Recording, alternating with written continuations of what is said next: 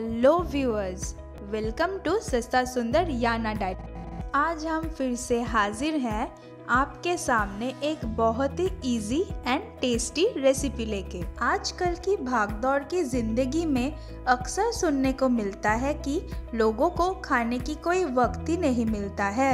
बहुत लोग तो ऐसे भी होते हैं कि अपने फ़र्स्ट मील यानी ब्रेकफास्ट ही स्किप कर देते हैं। और फिर बाहर जाके जंक फ़ूड कंज्यूम कर लेते हैं, जिसका हार्मफुल इफ़ेक्ट डायरेक्ट हमारे हेल्थ के ऊपर पड़ता है। क्योंकि ब्रेकफास्ट सारे दिन का फ़र्स्ट एंड वाइटल मील होता है। इसीलिए आज हम लोग याना diet clinic powered by Sasta Sundar dot com की ओर से आपके लिए बहुत ही fast and nutritious breakfast item overnight oats recipe लेके आए हैं।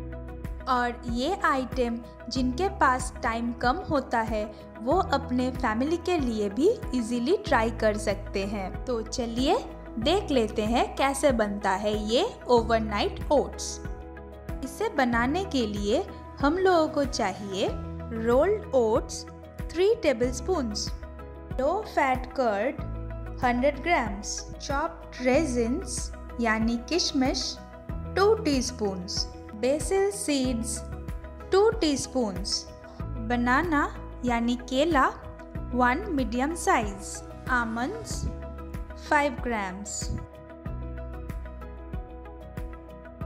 पहले एक मिक्सिंग बोल लीजिए और उसमें rolled oats low fat curd यानी खट्टा दही और कटे हुए यानी किशमिश लेके अच्छे से मिक्स कर लीजिए।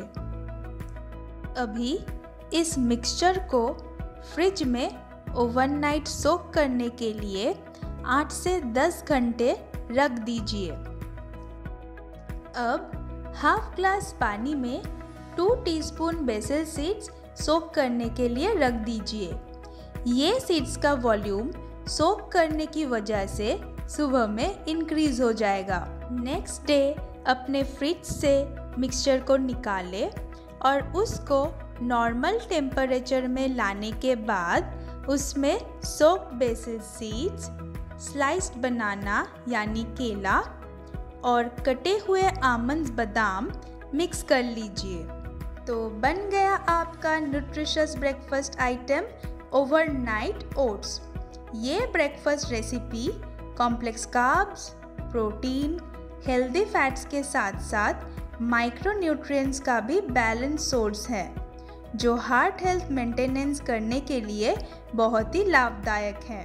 So guys enjoy your overnight oats every day at breakfast